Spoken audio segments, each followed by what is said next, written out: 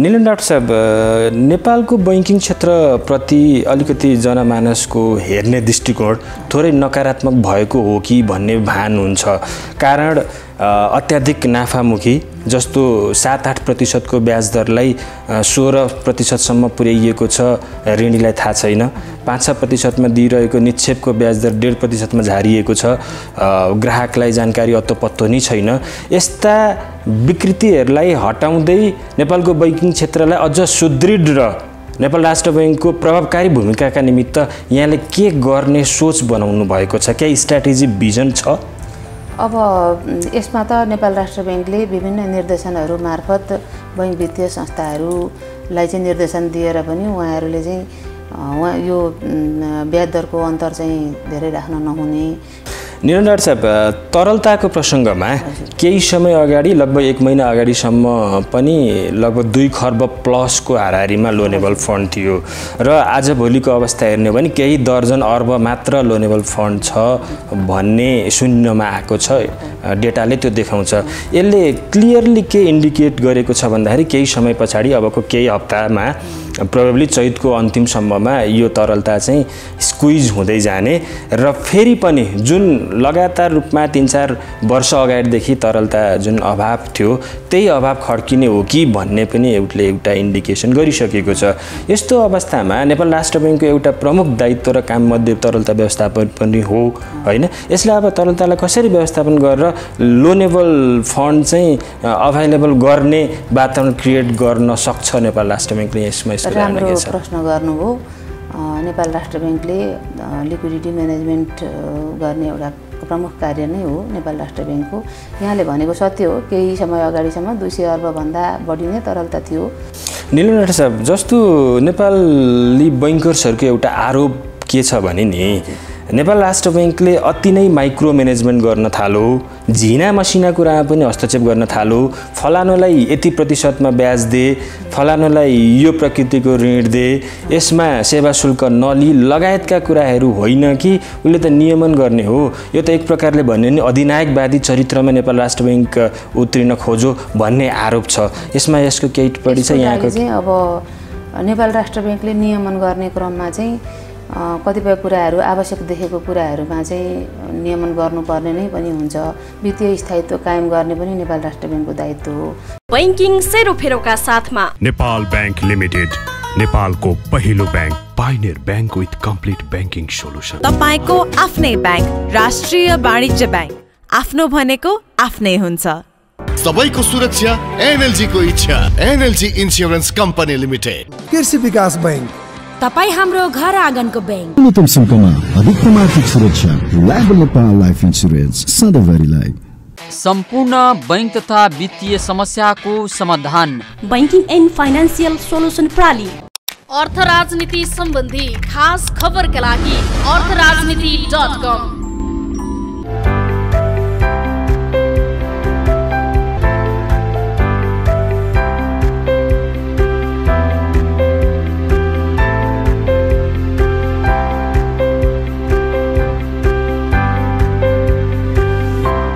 आदरणीय दर्शकवृन्द नमस्कार।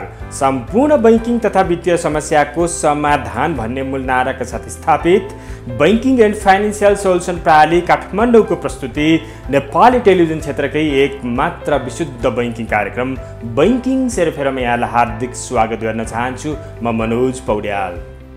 दर्शकवृन्द corona virus अर्थात् कोभिड उन्नाइसको प्रभाव अझै पनि सकिन सकेको हुनाले भौतिक दूरी कायम गरौँ भन्ने आग्रहका साथ कार्यक्रम बैङ्किङ सेरोफेरो अगाडि बढाउने यहाँहरू समक्ष अनुमति चाहन्छु।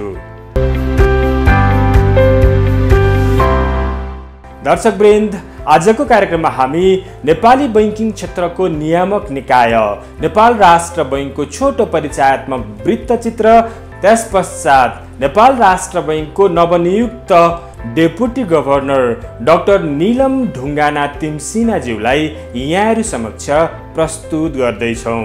आउनुहोस् कार्यक्रम बैङ्किङ सेरोफेरोको सुरुवात गरौँ।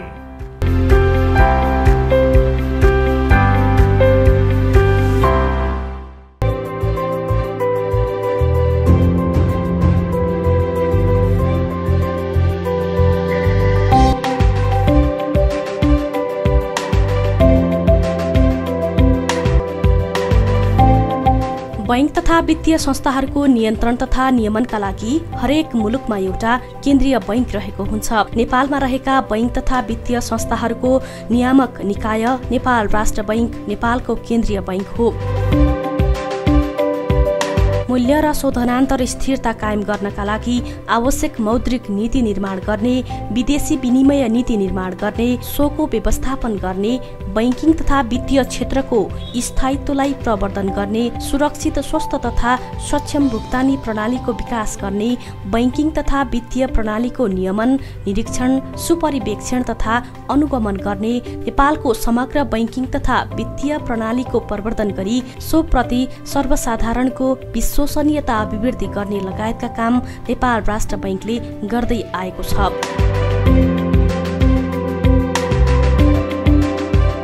यसका साथै नेपाल राष्ट्र बैङ्कले बैङ्क तथा वित्तीय संस्थाहरूलाई वित्तीय कारोबार गर्न अनुमति दिने सो कारोबार प्रचलित कानुन बमोजिम भए वा नभएको सम्बन्धमा नियमन गर्ने वाणिज्य बैङ्क तथा वित्तीय संस्थाको बैङ्क तथा अन्तिम ऋणदाताको रूपमा कार्य गर्ने भुक्तानी फर्च्यौट तथा हिसाब मिलान पद्धतिको स्थापना तथा प्रवर्धन गरी सो कार्यलाई नियमित गर्ने काम समेत गर्दछ।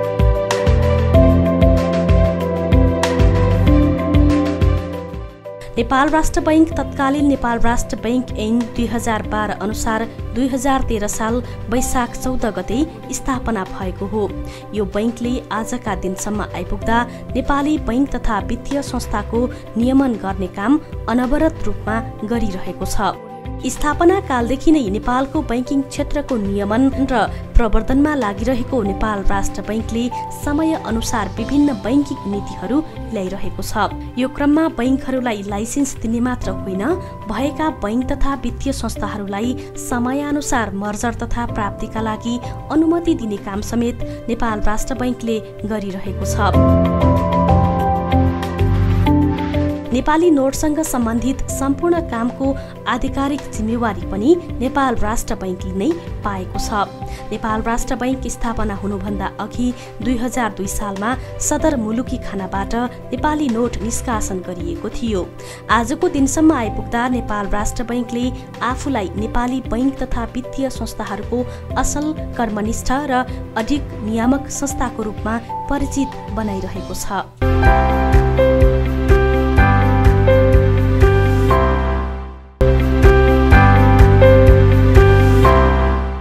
दर्शकवृन्द नेपाली बैङ्किङ क्षेत्रको नियामक निकाय नेपाल राष्ट्र बैङ्कको यो छोटो परिचयात्मक वृत्तचित्र पश्चात अबको क्रम रहेको छ बैङ्किङ साक्षात्कारको।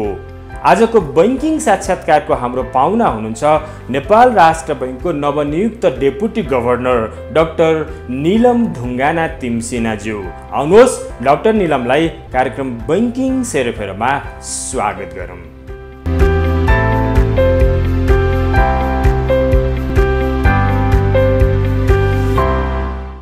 म्याम नमस्ते कार्यक्रम बैङ्किङ सेरेफेयरमा स्वागत छ। आरामै हुनुहुन्छ?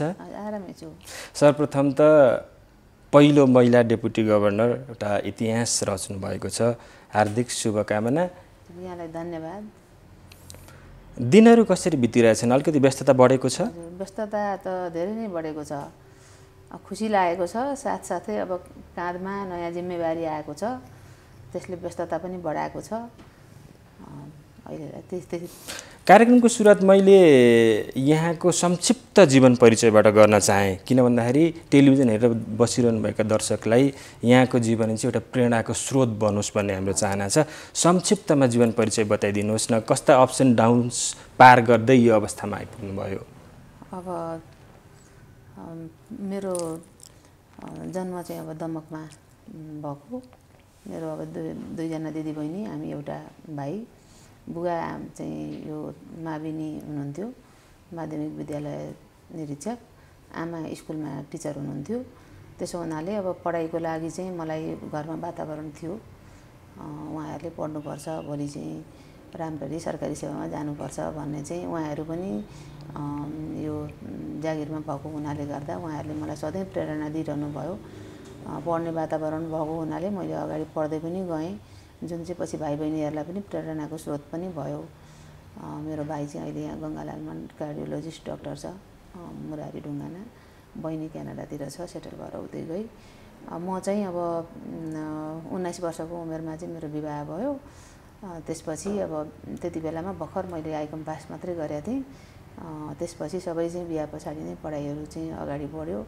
त्यसमा चाहिँ अब श्रीमान क्याम्पसकै प्राध्यापक हुनुभएको हुनाले गर्दाखेरि मलाई सपोर्ट राम्रै भयो। त्यसो हुनाले मैले पढाइलाई निरन्तरता दिन पनि पाएँ। त्यही क्रममा अब म विराटनगरमा स्नातकोत्तर क्याम्पसमा पढाउँथेँ पढ क्याम्प मेरो पढाइसकेपछि। पढाउँदा पढाउँदै अब मैले नेपाल राष्ट्र ब्याङ्कमा प्रतिस्पर्धामा पास गरेर सहायक निर्देशक पदमा आएँ। त्यसपछि यहाँबाट चाहिँ सबै परीक्षाहरू लिखित परीक्षामै पास गरेर म एक्जिक्युटिभ डाइरेक्टरसम्म पुगेँ। त्यसपछि अब पिएचडी पनि गरेँ मैले बिचमा। त्योभन्दा अगाडि नेपाल राष्ट्र ब्याङ्कबाटै अस्ट्रेलिया पढ्न जाने पनि मौका पर्यो। त्यसमा अब यो मैले युनिभर्सिटी अफ वलङ्गङ अस्ट्रे अस्ट्रेलियाबाट चाहिँ एमए इकोनोमिक्स पनि गरेँ। त्यही हो त्यो भइरहेको थियो। त्यस क्रममा अब एक्जिक्युटिभ डाइरेक्टर भएपछि डेपुटी गभर्नरको लागि पनि योग्य उम्मेदवार भइयो अ, र राम्रो मूल्याङ्कन हुन्छ भन्ने आशा पनि गरेकी थिएँ। भयो पनि खुसी छु। लामो समय नेपाल राष्ट्र बैङ्कको अनुभव र अहिले डेपुटी गभर्नर नेपालको अर्थतन्त्रलाई कोभिडले कस्तो इम्प्याक्ट पार्यो विशेष गरी बैङ्किङ क्षेत्र र समग्र अर्थतन्त्रमा यहाँको अनुभव के रह्यो? हजुर अब यो कोभिडले त समग्र अर्थतन्त्रमै प्रभाव पार्यो समग्र विश्वमै प्रभाव पार्यो होइन? नेपाल पनि यसको बासिटाबाट अछुतो रहेन।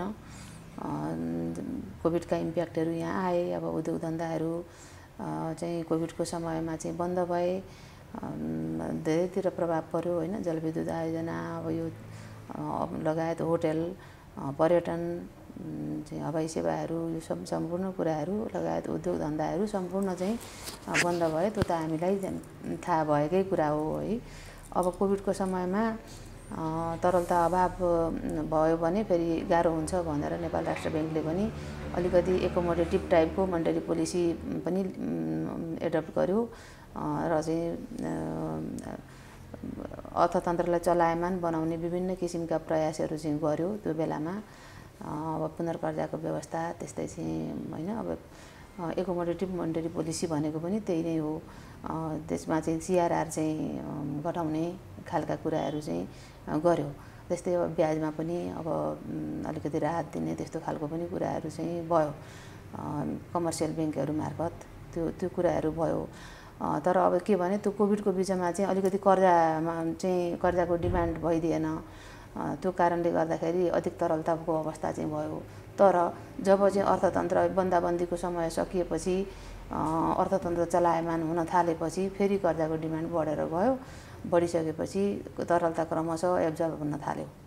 थालेर त्यो अवस्था हो अहिले। कोभिडको प्रभाव पारेको प्रभाव भने चाहिँ त्यसरी। निलन डाक्टर साहब नेपालको बैङ्किङ क्षेत्रप्रति अलिकति जनमानसको हेर्ने दृष्टिकोण थोरै नकारात्मक भएको हो कि भन्ने भान हुन्छ। कारण अत्याधिक नाफामुखी जस्तो सात आठ प्रतिशतको ब्याज दरलाई सोह्र प्रतिशतसम्म पुर्याइएको छ ऋणीलाई थाहा छैन। पाँच छ प्रतिशतमा दिइरहेको निक्षेपको ब्याज दर डेढ प्रतिशतमा झारिएको छ। ग्राहकलाई जानकारी अत्तो नै छैन। यस्ता विकृतिहरूलाई हटाउँदै नेपालको बैङ्किङ क्षेत्रलाई अझ सुदृढ र नेपाल राष्ट्र बैङ्कको प्रभावकारी भूमिकाका निमित्त यहाँले के गर्ने सोच बनाउनु भएको छ? केही स्ट्राटेजी भिजन छ?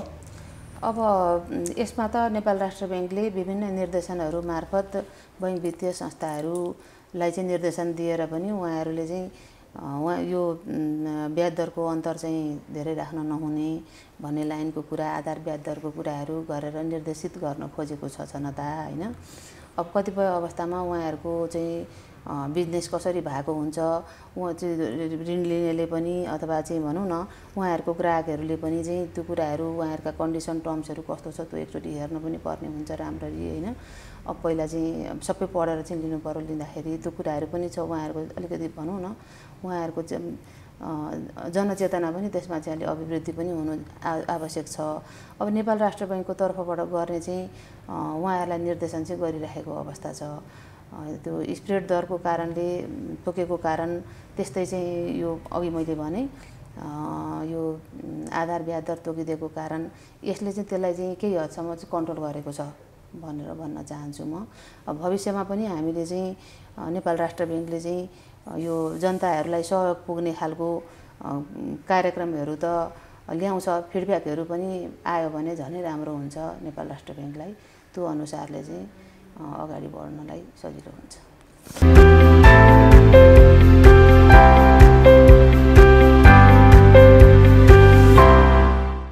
निरन्तर साहब तरलताको प्रसङ्गमा केही समय अगाडि लगभग एक महिना अगाडिसम्म पनि लगभग दुई खर्ब प्लसको हाराहारीमा लोनेबल फन्ड थियो। र आजभोलिको अवस्था हेर्ने हो भने केही दर्जन अर्ब मात्र लोनेबल फन्ड छ भन्ने सुन्नमा आएको छ डेटाले त्यो देखाउँछ। यसले क्लियरली के इन्डिकेट गरेको छ भन्दाखेरि केही समय पछाडि अबको केही हप्तामा प्रोबेबली चैतको अन्तिमसम्ममा यो तरलता चाहिँ स्क्विज हुँदै जाने र फेरि पनि जुन लगातार रूपमा तिन चार वर्ष अगाडिदेखि तरलता जुन अभाव थियो त्यही अभाव खड्किने हो कि भन्ने पनि एउटले एउटा इन्डिकेसन गरिसकेको छ। यस्तो अवस्थामा नेपाल राष्ट्र ब्याङ्कको एउटा प्रमुख दायित्व र काममध्ये तरलता व्यवस्थापन पनि हो होइन? यसलाई अब तरलतालाई कसरी व्यवस्थापन गरेर लोनेबल फन्ड चाहिँ अभाइलेबल गर्ने वातावरण क्रिएट गर्न सक्छ नेपाल राष्ट्र ब्याङ्कले यसमा राम्रो प्रश्न गर्नुभयो।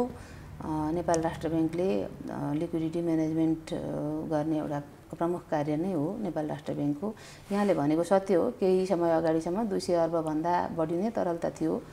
अहिले चाहिँ अब यो कोभिडको इम्प्याक्ट पनि घट्दै जान थालेपछि र चाहिँ कर्जाको डिमान्ड बढ्दै जान थालेपछि ब्याङ्कहरूले चाहिँ कर्जा प्रवाह पनि गर्न थाले लिक्विडिटी कम हुँदै गएको पनि हो। पहिलाको अवस्थामा चाहिँ हामीले लिक्विडिटी बढी भएर चाहिँ लिक्विडिटी मोपअप गरिरहेको अवस्था हो होइन? रिभर्स रिपो डिपोजिट कलेक्सन इन्स्ट्रुमेन्टहरू प्रयोग गरेर लिक्विडिटी मोपअप गरिरहेको अवस्था हो। बैङ्कहरू पनि लिक्विडिटी मोपअप गरिदिनु पऱ्यो पनि भन्ने अवस्था हो। त्यो भयो। सरकारी ऋण पनि हामी उठाउँदै नै छौँ। अब तर अहिले आएर अब कर्जाको डिमान्ड बढेको हुनाले लिक्विडिटी चाहिँ घट्दै गएको अवश्य नै हो। त यस्तो अवस्थामा चाहिँ नेपाल राष्ट्र ब्याङ्कले के गर्छ भने लिक्विडिटी बढी हुँदा पनि र कम हुँदा पनि लिक्विडिटी म्यानेजमेन्ट गर्ने इन्स्ट्रुमेन्टहरू नेपाल राष्ट्र ब्याङ्कसँग छन्। यो अहिले अब कम भयो भने हामी चाहिँ बैङ्कहरूलाई चाहिँ उनीहरूले एसएलएफ मागेको बेलामा चाहिँ माग्ने बित्तिकै तत्कालै चाहिँ सरकारी ऋणपत्रहरूको धितोमा चाहिँ स्ट्यान्डिङ लिक्विडिटी फेसिलिटी चाहिँ प्रदान गर्छौँ। गर्न पनि सुरु गरिसकेका छौँ। केही ब्याङ्कहरूले मागिरहेका पनि छन्। म त्यही डिपार्टमेन्टमा थिएँ यो नियुक्ति हुनुभन्दा अगाडि। त्यसपछि अब अब हामीले चाहिँ एसएलएफ चाहिँ उहाँहरूको इनिसिएसनमा हुने हो। हाम्रो इनिसिएसनमा पनि अब घटेको देखियो वाच गरिरहेका छौँ देखियो भने अनि रिपो फेसिलिटीहरू उहाँहरूलाई प्रदान गर्छौँ। त्यसले पनि चाहिँ तरलता चाहिँ बढाउँछ। त्यसका अतिरिक्त उहाँहरूले अब इन्टरब्याङ्क ट्रान्जेक्सनहरू गरेर पनि समस्या समाधान गर्न सक्नुहुन्छ। अब त्यो भएन भने अब लङ टर्म रिपो दिने भन्ने खालको प्रावधान पनि मोनिटरी पोलिसीमा चाहिँ आइसकेको छ। त्यो लङ टर्म रिपो पनि प्रदान गर्न सकिन्छ अलिकति बढी समयको होइन? तिन महिनाको मात्रै होइन छ महिनाको अथवा एक वर्षसम्मको दिन सकिने पनि हुन्छ। त्यस्तो खालको उपायहरू चाहिँ हामी गर्छौँ। निलम साहब जस्तो नेपाली बैङ्कर्सहरूको एउटा आरोप के छ भने नि नेपाल राष्ट्र ब्याङ्कले अति नै माइक्रो म्यानेजमेन्ट गर्न थालो झिना मसिना कुरामा पनि हस्तक्षेप गर्न थालो फलानुलाई यति प्रतिशतमा ब्याज दे फलानुलाई यो प्रकृतिको ऋण दे यसमा सेवा शुल्क नलि लगायतका कुराहरू होइन कि उसले त नियमन गर्ने हो। यो त एक प्रकारले भन्यो भने अधिनायकवादी चरित्रमा नेपाल राष्ट्र ब्याङ्क उत्रिन खोजो भन्ने आरोप छ। यसमा यसको केही टिप्पणी छ यहाँको अब नेपाल राष्ट्र ब्याङ्कले नियमन गर्ने क्रममा चाहिँ कतिपय कुराहरू आवश्यक देखेको कुराहरूमा चाहिँ नियमन गर्नुपर्ने नै पनि हुन्छ। वित्तीय स्थायित्व कायम गर्ने पनि नेपाल राष्ट्र ब्याङ्कको दायित्व हो। वित्तीय सुशासन कायम गर्ने होइन? त्यो कारणले पनि कतिपय कुराहरूमा चाहिँ गर्नुपर्ने हुन्छ। बैङ्क वित्तीय संस्थाहरूले आफै चाहिँ अब भन् सेल्फ रेगुलेसनमै सेल्फ रेगुलेसनै एडप्ट गरेर त्यसबाट चाहिँ सर्वसाधारण जनताहरू पनि सन्तुष्ट भएको अवस्था हुँदाखेरि नेपाल राष्ट्र ब्याङ्कले कहिले त्यति गर्नु पर्दैन। तर त्यस्तो भएन भने कहिलेकाहीँ यदाकदा गर्नुपर्ने पनि हुन्छ। तर त्यसलाई चाहिँ माइक्रो म्यानेजमेन्टको रूपमा चाहिँ लिनुभन्दा पनि अब यो पनि स्वनियमन यो चाहिँ पनि नियमनकै एउटा चाहिँ अङ्ग हो भन्ने खालको रूपमा चाहिँ लिइदिँदाखेरि राम्रो हुन्छ जस्तो लाग्छ। अन्त्यमा मैले सोध्न छुट्याएका यहाँलाई भन्न मन लागेका केही छन्? टेलिभिजन हेरेर बस्नुभएका दर्शकहरूलाई। अब अहिले मैले भन्न खोज्ने कुरा त वित्तीय साक्षरताको सम्बन्धी कुराहरू डिजिटल ब्याङ्किङको कुराहरू होइन? यिनीहरूको सम्बन्धमा चाहिँ हामीले पनि धेरै गर्न चाहिँ बाँकी छ। वित्तीय साक्षरता चाहिँ ठाउँ ठाउँबाट चाहिँ हामी ज जसले सकिन्छ वित्तीय साक्षरताको कार्यक्रमहरू चाहिँ अगाडि बढाऊँ। अ, बैङ्क वित्तीय संस्थाहरूले पनि वित्तीय साक्षरताको कार्यक्रमहरू अगाडि बढाऊँ। हामी नेपाल राष्ट्र ब्याङ्कले पनि बढाउँछौँ। सबैले आफ्नो ठाउँबाट योगदान गरौँ भन्न चाहन्छु। विशेष गरी वित्तीय साक्षरतालाई फोकस गरौँ भन्ने यहाँको चाहना हो। अझ विशेष गरी डिजिटल ब्याङ्किङको सम्बन्धमा किनभने गाउँ दूरदराजतिर डिजिटल ब्याङ्किङको बारेमा त्यति धेरै जानकारी छैन वित्तीय साक्षरता छैन होइन? कम छ भनौँ न।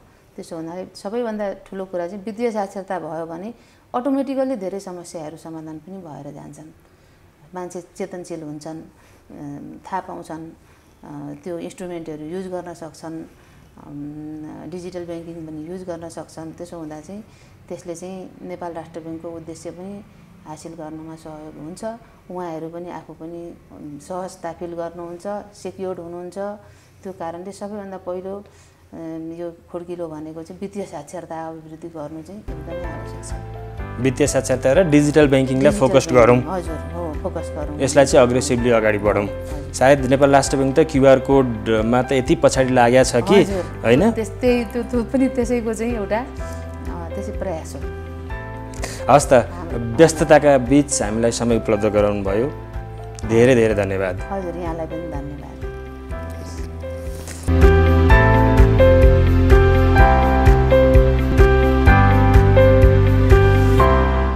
हवस् त नेपाल राष्ट्र बैङ्कको नवनियुक्त deputy governor doctor Nilam Dhungana तिमसिनाज्यूसँगको साक्षात्कार सँगसँगै कार्यक्रम बैङ्किङ सेरेफेरको निर्धारित समय सकिएको छ। पुनः अर्को साता तपाईँहरूको र हाम्रो भेटघाट हुने नै छ। तबसम्मको लागि म मनोज पौड्याल लगायत सम्पूर्ण बैङ्किङ सेरेफेर युनिटलाई बिदा दिनुहोस्। नमस्ते।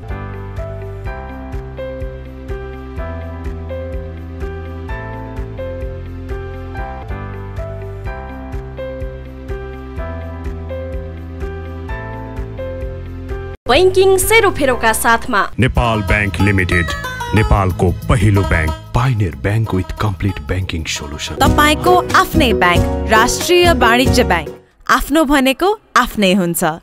सबैको सुरक्षा एनएलजी को इच्छा एनएलजी इन्स्योरेन्स कम्पनी लिमिटेड। कृषि विकास बैंक। तपाईँ हाम्रो घर आँगनको ब्याङ्क न्यूनतम शुल्कमा अधिकतम आर्थिक सुरक्षा लाइफ नेपाल लाइफ इन्सुरेन्स सधैँभरिलाई सम्पूर्ण बैङ्क तथा वित्तीय समस्याको समाधान। बैङ्किङ एन्ड फाइनेन्सियल सोलुसन प्रणाली। अर्थ राजनीति सम्बन्धी खास खबरका लागि अर्थ राजनीति डट कम।